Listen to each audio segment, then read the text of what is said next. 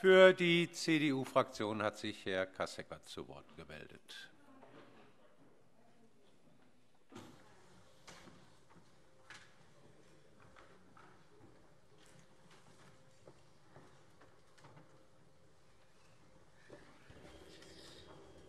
Herr Präsident, liebe Kolleginnen und Kollegen!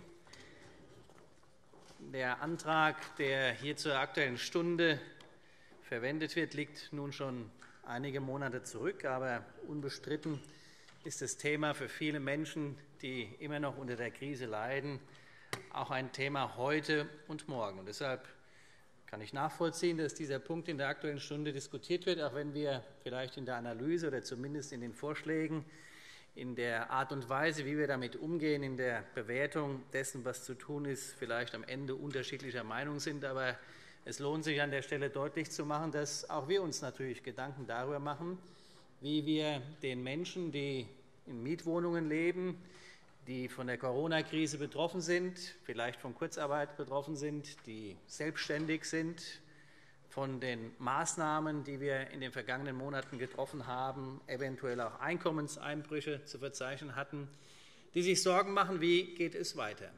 Das muss uns alle beschäftigen, das beschäftigt uns alle. Und deshalb glaube ich, sollten wir uns nicht nur heute hier, sondern auch im Ausschuss, der Antrag geht ja wohl in den Ausschuss, wenn ich es richtig sehe, sollten wir uns in Ruhe Zeit darüber nehmen und darüber nachzudenken. Und wenn ich den wenn ich den Antrag, wenn ich den Antrag lese, in den Ziffern 1 und 2, dann sind wir im Frühjahr davon ausgegangen, oder der Antragsteller ist im Frühjahr davon ausgegangen, dass das für die Mieter eine ganz schreckliche Zeit wird.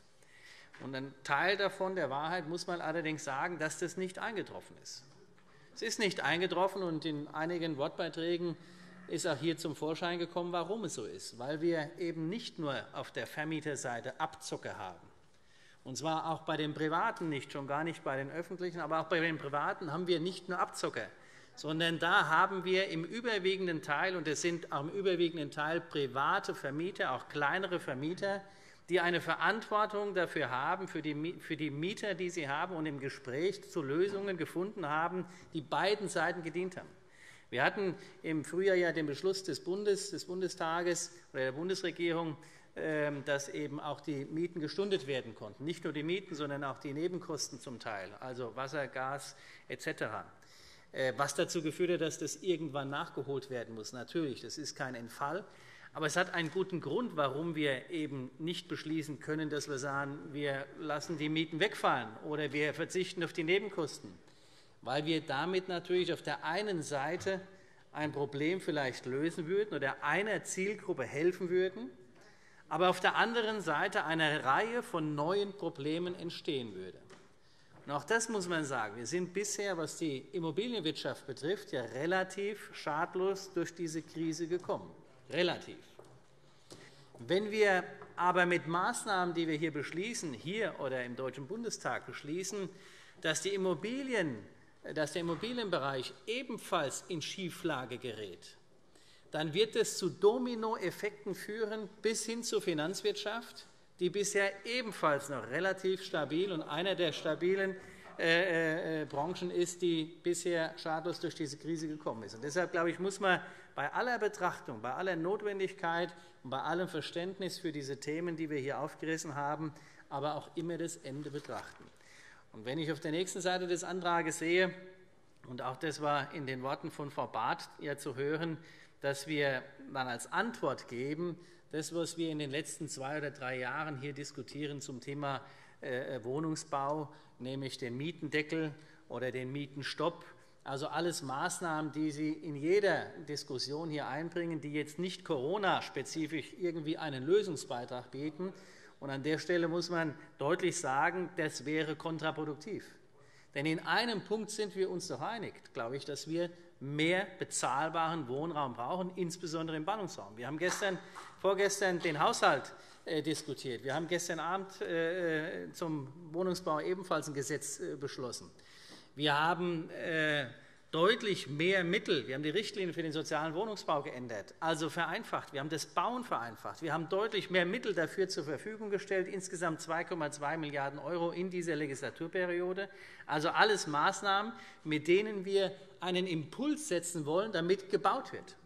Und wenn wir diesen Impuls, diese Möglichkeiten, die wir jetzt geschaffen haben, damit sozusagen konterkarieren, indem wir sagen, aber ihr müsst davon ausgehen, wenn ihr baut, dass wir auch die Idee und die Vorstellung eines Mietenstopps oder eines Mietendeckels oder gar, was wir bei unseren öffentlichen, das steht zumindest in dem Antrag hier drin, bei den öffentlichen dann erwarten sollten, dass sie die Mieten senken.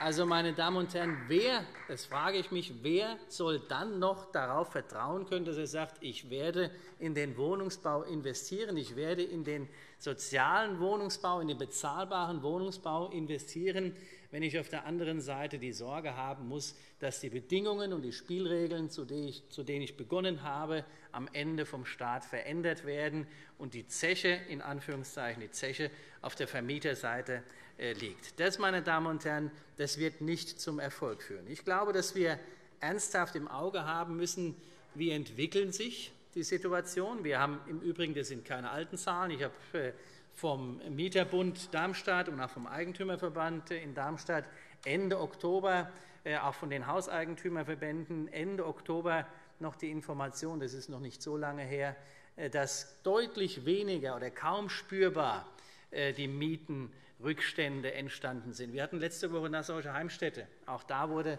ein Prozentsatz, ein minimalster Prozentsatz genannt, Genau, Sie waren, Sie waren ja dabei. Minimalster Prozentsatz genannt. Also auch die Mieter ihrerseits sind bestrebt und haben ein Interesse daran, ihren Verpflichtungen nachzukommen. Und dort, wo es klemmt, dort, wo es klemmt, da ist bisher es in den allermeisten Fällen gelungen, Lösungen zu finden. Und darauf sollten wir auch setzen. Wir sollten das Problem nicht vergrößern. Im Gegenteil, wir sollten mehr Wohnraum schaffen. An diesem Ziel müssen wir festhalten. Wir sollten diejenigen, die bereit sind zu investieren, auch weiterhin bei der Stange halten und motivieren. Und wir sollten ähm, und das kann ich an der Stelle auch der Diskussion vorgreifend sagen, jeder Diskussion äh, von Mietenstopp äh, oder gar Mietendeckel eine klare Absage erteilen. Das ist für uns ein kontraproduktives Instrument, das wir mit uns sicherlich nicht diskutieren kann in dieser Frage. Insofern, meine Damen und Herren, ich komme zum Schluss. Wir werden das Thema im Ausschuss, wir werden das, ich glaube kaum, da müssen Sie schon viel Überzeugungsarbeit noch leisten. Ich komme, ich komme zum Schluss und ich will deutlich machen, dass uns das Thema, ich komme zum Schluss und ich will deutlich machen, dass wir das Thema, dass wir das Thema ernst nehmen, dass wir die Sorgen und Nöte der Menschen ernst nehmen. Wir diskutieren seit Monaten Michael Boddenberg äh, und die Kolleginnen und Kollegen der Regierungsbank diskutieren seit Monaten ja über die verschiedensten Betroffenheiten. Wir könnten ja genauso gut darüber nachdenken, dass wir sagen, äh, was weiß ich, den Einzelhandel. In diesen Tagen ist der Einzelhandel schwer getroffen, weil wir, wir wollen, dass die Menschen zu Hause bleiben, dass die Kontakte beschränkt werden haben den Einzelhandel offen gehalten. Und äh, die Menschen halten sich im überwiegenden Teil daran, mit der Folge, dass der Einzelhandel in den November- und Dezembermonaten und in starken Monaten vor Weihnachten davon massiv getroffen ist. Er ist bisher von den, von den Maßnahmen der Bundesregierung, von den Unterstützungsprogrammen der Bundesregierung bisher, zumindest aktuell, unberücksichtigt. Das heißt, wir werden eine Reihe von Betroffenheiten noch haben, je länger diese Krise dauert. Und deshalb sollten wir bei jeder dieser Maßnahmen genau darüber nachdenken, bedenke das Ende. Es ist nicht so, dass wir hier an einer Stelle sagen können, da machen wir was für die Mieter und damit ist das Problem gelöst. Denn hier würde, in dem Fall habe ich es angedeutet, eine Reihe von äh, Dominoeffekten entstehen. Die wollen wir nicht, aber wir wollen auf der anderen Seite auch einen offenen, einen fairen Dialog darüber haben und den Menschen ein Zeichen geben, dass wir sie nicht allein lassen. Vielen Dank.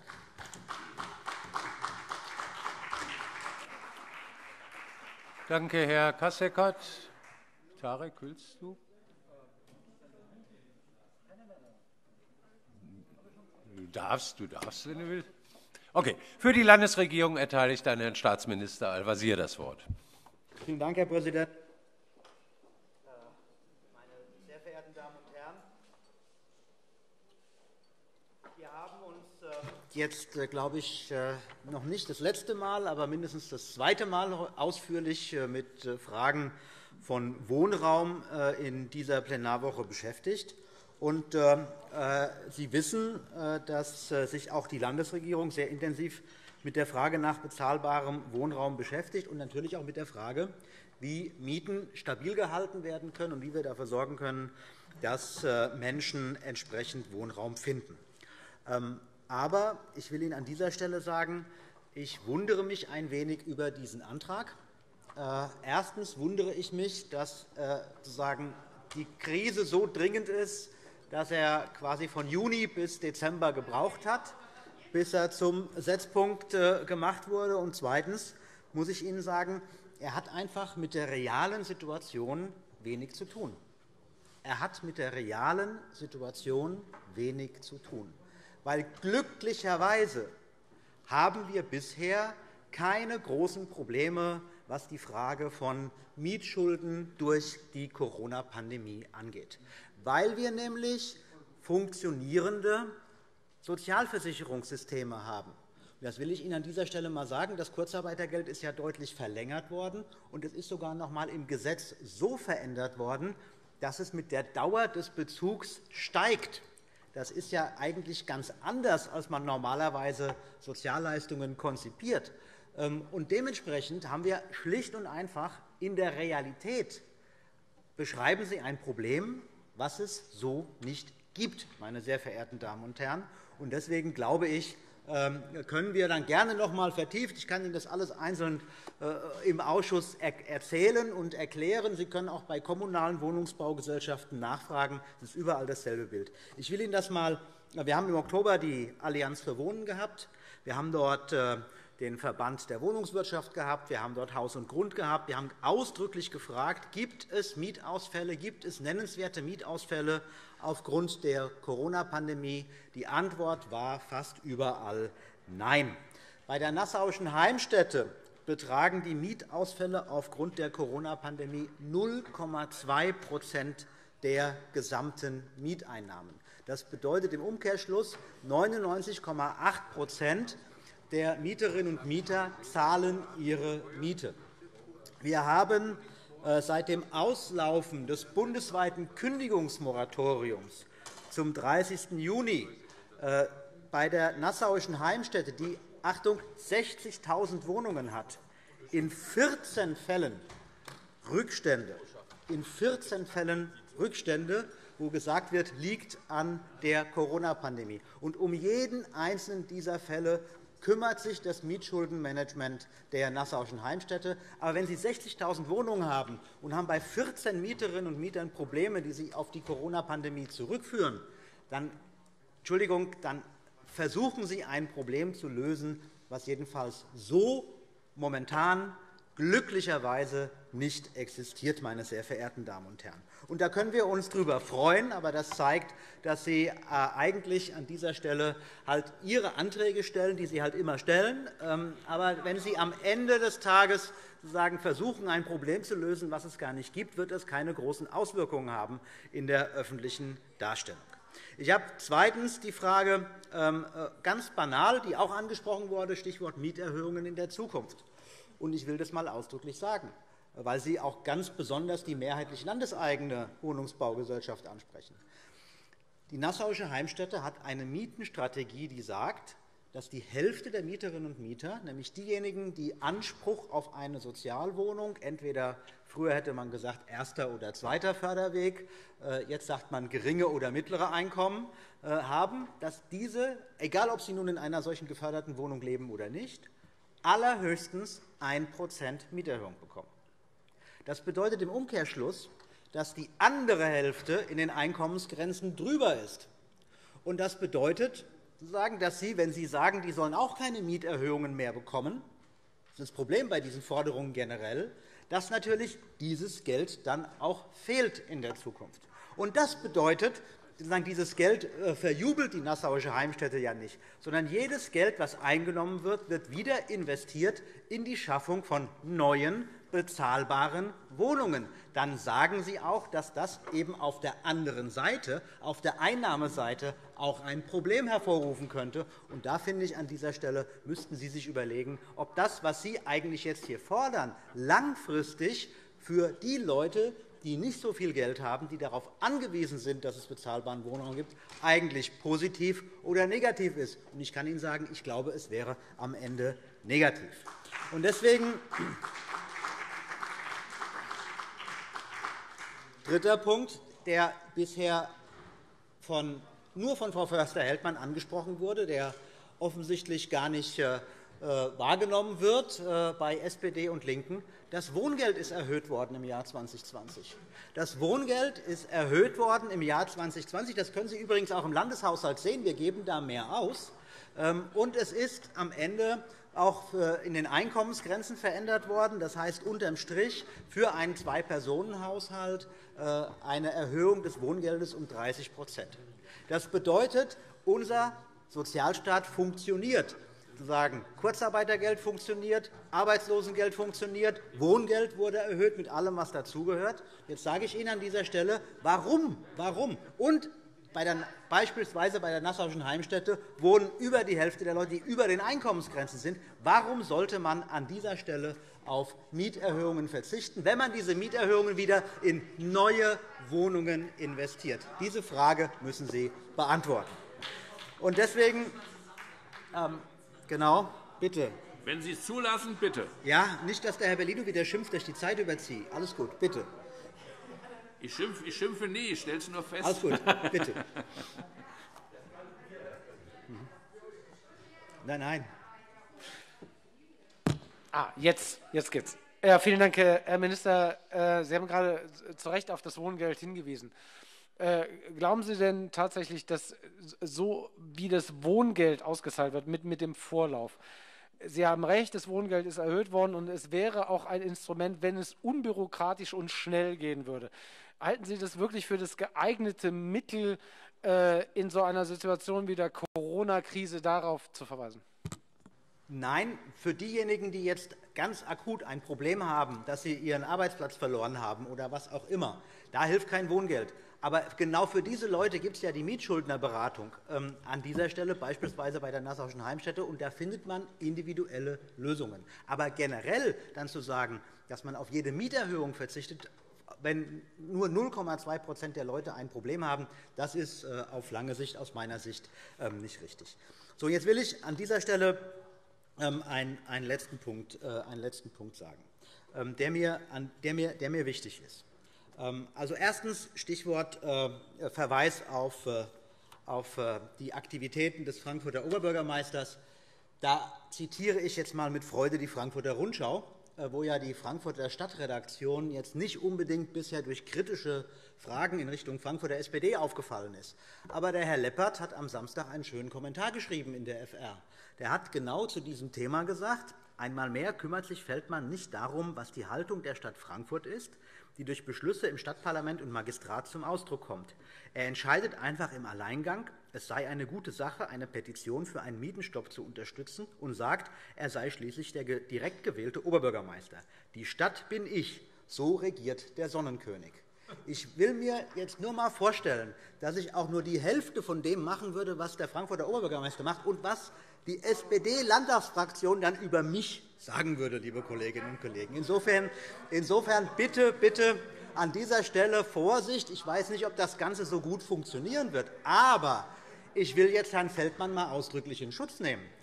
Der Herr, doch, der Herr Feldmann ist in, diese, in manchen Themenfeldern realistischer und äh, mehr an der Sache interessiert als die SPD-Landtagsfraktion weil wir nämlich letzte Woche Aufsichtsrat der Nassauischen Heimstätte hatten, und die Frankfurter, die ja Minderheitsgesellschafter sind, haben der Erhöhung des Eigenkapitals der Nassauischen Heimstätte ausdrücklich zugestimmt, weil sie gesagt haben, es macht Sinn, wenn wir einerseits ein Konjunkturprogramm machen wollen und die Konjunktur ankurbeln, Aufträge für das regionale Handwerk, zweitens eine Klimakrise haben, den, Klimabestand, den Wohnungsbestand klimaneutral machen wollen, dann müssen wir investieren.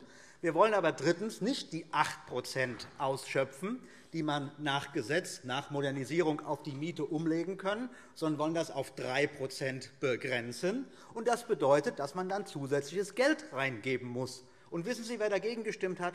Die SPD-Landtagsfraktion im Haushaltsausschuss des Hessischen Landtags. So, und deswegen, wissen Sie, wenn Sie, und an, diesen Stellen, an diesen Stellen verstehe ich es einfach nicht mehr. Sie wissen nicht mehr, wo vorne und hinten und links und rechts ist. Wie, kann denn, wie viele Jahrzehnte haben wir gestritten über öffentliche Wohnungsbaugesellschaften? Und wie sehr haben Sie darum gekämpft, dass man die stärkt? Und das Land Hessen investiert 200 Millionen €, um das Eigentum, das ist ja das Ergebnis einer Eigenkapitalerhöhung, um das Eigentum des Landes an einer öffentlichen Wohnungsbaugesellschaft zu vergrößern und die SPD-Landtagsfraktion stimmt dagegen. Ich verstehe es nicht, meine sehr verehrten Damen und Herren. Ich verstehe es. Ich, ich erbitte jetzt äh, Ende. Jetzt dazu. Äh, und deswegen äh, können wir gerne im Ausschuss noch einmal vertieft diskutieren. Ich kann Ihnen sagen, die Nassauische Heimstätte ist eine tolle Tochter. Und ich kann Ihnen auch sagen, solange ich Aufsichtsratsvorsitzender bin, steht NH für Nassauische Heimstätte und nicht für Neue Heimat. Vielen Dank. Vielen Dank, Herr Staatsminister. Wegen des Geplänkels will ich jetzt einmal die etwas überzogene Zeit nicht ins Protokoll diktieren. Darf Herrn Schalauske das Wort geben, weil er hat eine zweite Runde begonnen. Äh, Herr Staatsminister, das wird dann länger, wenn wir jetzt ist halb zwei. Könnte noch später werden. Sie haben das Wort, Herr Schalauske.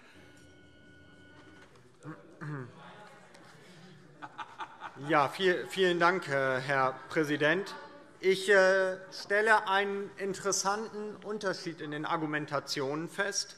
Während Herr Kassecker gesagt hat von der CDU-Fraktion, es wundere ihn nicht, dass wir über diesen Antrag diskutieren. Es sei ein Thema, darüber kann man in der jetzigen Situation debattieren, auch wenn man zu unterschiedlichen Ergebnissen kommt, wie die Probleme zu lösen äh, sind, sagt der grüne zuständige Staatsminister, das Problem würde überhaupt nicht existieren. Er verstehe gar nicht, warum wir hier heute darüber reden. Man könnte ja den Eindruck bekommen, die CDU-Landtagsfraktion ist näher an den Sorgen und Nöten der Mieterinnen und Mieter als der grüne Wohnungsminister. Und das ist ein Armutszeugnis für den zuständigen Minister. Und dann, Herr Staatsminister, Herr Staatsminister, haben Sie gesagt, ja, warum sollten öffentliche Wohnungsbaugesellschaften eigentlich auf Mieterhöhungen verzichten? Ich will Ihnen das ganz klar und ganz deutlich sagen, warum. Weil, weil Menschen im Moment in existenziellen Sorgen und Nöten stecken weil wir eine Ausweitung, eine dramatische Ausweitung von Kurzarbeit haben, weil eine Insolvenzwelle droht, weil viele Menschen nicht wissen, ob sie ihrer Arbeit noch in wenigen Wochen, Monaten nachgehen äh, können, und weil das insbesondere Geringverdiener äh, betrifft. Und deswegen ist es doch für eine öffentliche Wohnungsbaugesellschaft, die sicherstellen soll, dass breite Teile der Bevölkerung guten Zugang zu bezahlbarem Wohnraum haben, sollte es doch eine Selbstverständlichkeit sein, in einer solch dramatischen Krise auf Mieterhöhungen zu verzichten. Und ich finde es auch ehrlich gesagt nicht überzeugend, Mieterhöhungen gegen die Schaffung von bezahlbarem Wohnraum auszuspielen. Weil Sie sagen ja, ach, die brauchen ja die Mieterhöhung, um dann in öffentlichen Wohnungsbau zu investieren. Ich sage mal, wenn es die letzten Jahrzehnte substanziellere Förderungen für bezahlbare Wohnungen, für die soziale Wohnraumförderung gegeben hätte, die sozusagen von der öffentlichen Hand organisiert worden wären, und man hätte es nicht auf die öffentlichen Wohnungsbaugesellschaften abgewälzt, die dann auch noch die Gemeinnützigkeit entzogen äh, wurde und unter betriebswirtschaftliche Aspekte gepackt äh, äh, wurde. Wenn man also die soziale Wohnraumförderung sehr viel intensiver betrieben hätte, dann könnte man auch mehr bezahlbaren Wohnraum schaffen und bräuchte dann nicht die Mieterhöhung von Menschen, die eben häufig nur ein geringes oder ein mittleres Einkommen haben. Und dann ist es ja schön und gut, Frau Förster-Heldmann, wenn es Beratungssysteme gibt, von öffentlichen Wohnungsbaugesellschaften, die Mieterinnen und Mietern in Not helfen. Das ist doch auch das Mindeste, was es geben sollte. Nur das äh, alleine reicht eben in einer solchen Situation nicht und rechtfertigt am Ende auch nicht, dass man dann ja doch irgendwie zu Mieterhöhungen kommt. Und Sie zumindest sind, der, sind die Antwort schuldig geblieben, ob Sie denn nun eigentlich die Mieterhöhung bei der Nassauischen Heimstätte befürworten. Wir tun das jedenfalls nicht. Und, Herr Kollege Lenders, Sie haben gesagt, na ja, ist denn das, was SPD und LINKE mit, äh, also hier auch an Argumenten vortragen, sei das denn jetzt eine groß angelegte Kritik an öffentlichen Wohnungsbaugesellschaften? Ich will Ihnen ausdrücklich sagen, nein, das ist es nicht. Wir gucken uns das im Einzelfall an.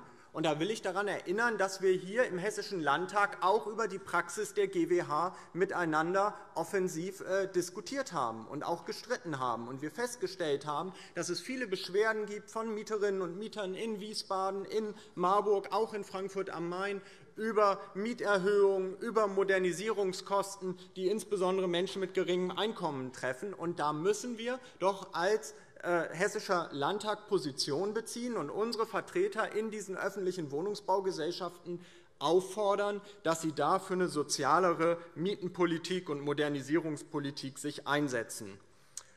Und abschließend es ist gesagt worden, ich komme, ich komme jetzt zum Schluss, es ist gesagt worden, ja, warum kommen Sie denn jetzt erst mit, äh, also warum bringen Sie jetzt erst den Antrag hier in den äh, Landtag und wie ist denn das überhaupt mit dem Problem? Ich will Ihnen sagen, warum es wichtig ist, dass wir jetzt über das Problem diskutieren. Weil viele Mieterinnen und Mieter haben in den letzten Monaten alles getan und haben alle anderen Ausgaben, an allen anderen Ausgaben geknapst, um die Miete noch zu berappen. Die Miete ist das Letzte von dem, ähm, woran man sozusagen äh, spart, weil man weiß, sie ist existenzsichernd. Man muss sie bezahlen, damit man die Wohnung äh, nicht verliert. Deswegen laufen wir jetzt in dieser Situation dramatisch auf eine dramatische Welle zu weil nämlich viele Mieter ihre Ersparnisse aufgebraucht haben. Das ist das Ergebnis auch der Beratungsgespräche. Das ist das, was Mieterverbände quasi rückmelden. Und deswegen reden wir jetzt über die Situation, über das, was da äh, droht an einer Welle. Und da muss politisch gehandelt werden, auch hier vom Hessischen Landtag und der Landesregierung. Vielen Dank, Herr Kollege Schalauske. Es hat sich noch einmal zu diesem Tagesordnungspunkt die Kollegin Barth für die SPD gemeldet. Auch Sie haben, liebe Kollegin, nunmehr das Wort. Herr Präsident, meine Damen und Herren! Noch zu dem Punkt, weshalb die SPD der Eigenkapitalerhöhung nicht zugestimmt hat, noch einmal wirklich ganz deutlich fürs Protokoll. Es geht lediglich darum, dass wir nicht möchten, dass dieses Geld, weil wir es eben nicht für richtig halten, aus dem Schattenhaushalt genommen wird. Das ist der einzige Punkt. Und es wäre schön, wenn Sie diese Tatsache nicht ständig ignorieren würden. Ich habe, bevor wir unseren Antrag gestellt haben, äh, der jetzt auch im Wirtschaftsausschuss ähm, behandelt wird, nach dem Sicherwohnenfonds, habe ich sehr wohl mit dem Mieterverein gesprochen, mit mehreren Mietervereinen, und habe gefragt, warum sind die Stundungen nicht in Anspruch genommen worden. Und da ist genau das mir geantwortet worden, was ich auch vorhin ausgeführt habe. Viele Menschen haben eben, weil sie wussten, aufgeschoben ist nicht aufgehoben, haben sie eben doch noch versucht, ihre Miete zu zahlen. Sie wussten, am Ende müssten sie es ja doch. Und jetzt sind aber eben die Ersparnisse aufgebraucht. Und deshalb wird es jetzt sehr viel schwerer. Und ich will Ihnen vielleicht auch noch mal ein paar Zahlen sagen, Herr Al-Wazir. 1.000 Menschen werden an der Messe vermutlich die nächste Zeit ihre Arbeit verlieren. 4.000 Menschen am Flughafen, 29.000 Stellen werden bei der Lufthansa ausgebraucht. Ja, glauben Sie allen Ernstes, dass das keine Auswirkungen hat, wenn ein Stellenabbau in einem solchen Ausmaß jetzt wirklich in der nächsten Zeit vor uns steht? Und es ist auch so, dass die Nassauische Heimstätte, ihre tolle Tochter, ähm, nur bei Menschen, die im Hilfebezug sind, die Mieten 1% erhöht. Ich weiß, dass die auch sonst nicht besonders viel erhöhen. Aber diese Menschen, über die wir hier sprechen, mit normalen Jobs, die jetzt nicht auf Sozialhilfe normalerweise angewiesen sind, das sind Menschen, die jetzt existenzielle Sorgen haben, die sonst an sich zurechtkommen, so einigermaßen. Ja? So, aber wenn mir jetzt plötzlich wegen Kurzarbeit ein Viertel meines Gehalts fehlt, und Sie wissen, dass man in Frankfurt, hier im Rhein-Main-Gebiet, häufig mehr als das, was wir sonst für normal erachten würden, ein Drittel seines Gehalts für die Miete aufwenden muss. Dann ist dieses Viertel ist existenziell. Dann kann man das vielleicht noch einmal ein halbes oder ein Dreivierteljahr überbrücken, aber irgendwann geht es eben nicht mehr. Und deswegen glauben wir, dass es sehr wohl jetzt angebracht ist, über besondere Hilfeleistungen zu sprechen. Ähm, und was die Mieterhöhung bei der NH anbelangt, noch einmal ein Punkt.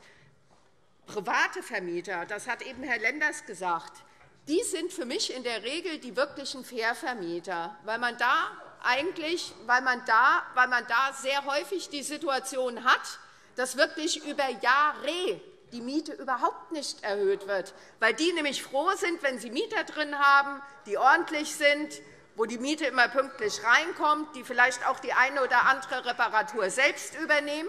Ja, so. Und diese privaten Vermieter die kommen zurecht ohne Mieterhöhung.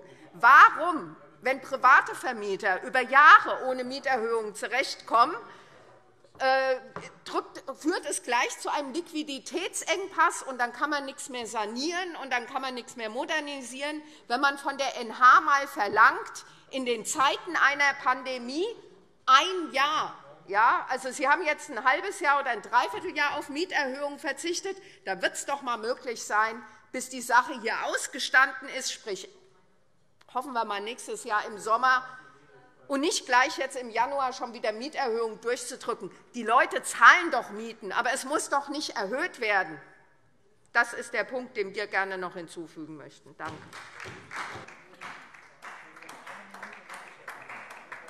Es steht Ihnen zu, Herr Staatsminister. Die Hessische Verfassung lässt das zu. Wir haben ja Zeit bis halb zwei, Herr Staatsminister jetzt fast gesagt, nein, Entschuldigung, ich muss Ihnen an dieser Stelle jetzt noch einmal eine Minute, nur dass wir mal wissen, worüber wir reden. Die durchschnittlichen, Entschuldigung, die durchschnittlichen Mieten der nassauischen Heimstätte für nicht gebundenen Wohnraum, nicht gebundenen, frei vermieteten, sozusagen nicht gebundenen Wohnraum in der Stadt Frankfurt ist 7,24 €. Ja, Im Durchschnitt hat die Nassauische Heimstätte über alle Wohnungen über das ganze Land eine durchschnittliche Miete von unter 6 €. Und wir sagen nicht nur die im Hilfebezug, sondern alle, die Anspruch auf eine geförderte Wohnung hätten, egal ob sie in einer wohnen oder nicht, das sind die Hälfte der Mieterinnen und Mieter der NH, sagen wir höchstens 1% Jetzt rechnen Sie einmal 1% von 7 € aus, und dann überlegen Sie wirklich, ob wir nicht an dieser Stelle sozusagen Sie an, sagen wir, einen Kampf an der falschen Stelle führen. Und ich kann Ihnen sagen, warum ich aber sage, dass dieses eine Prozent am Ende auch kommt. Weil wir, das Land Hessen als Mutter gibt 200 Millionen € zusätzlich rein. Wir haben schon zusätzlich 200 Millionen € Eigenkapital reingegeben für neue Wohnungen. Die Nassauische Heimstätte hat ein ehrgeiziges Neubauprogramm, damit wir die Wohnungsnot bekämpfen. Und das muss auch ökonomisch finanziert sein. Und so ganz nebenbei nur einmal schöne Grüße an die Stadt Frankfurt. Die Wohnungen der Nassauischen Heimstätte in Frankfurt sind im Schnitt günstiger als die der ABG. Vielen Dank. Vielen Dank, Herr Staatsminister. Da mir keine weiteren Wortmeldungen, ich schaue noch einmal in die Gruppe, nicht, da mir keine weiteren Wortmeldungen vorliegen, ist der Antrag Tagesordnungspunkt 44 hiermit erörtert und wir überweisen ihn in den WVA. Machen wir das gemeinsam so? Vielen Dank. Dann ist das so fürs Protokoll auch notiert.